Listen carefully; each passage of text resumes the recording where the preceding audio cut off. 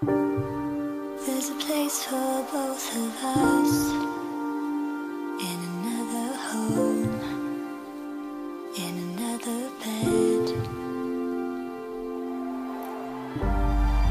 I've been fighting.